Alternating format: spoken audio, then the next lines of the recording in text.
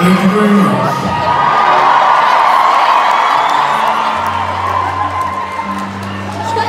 The next song we're going to play for you, unfortunately, it never quite got titles, so it's affectionately known as Song Six.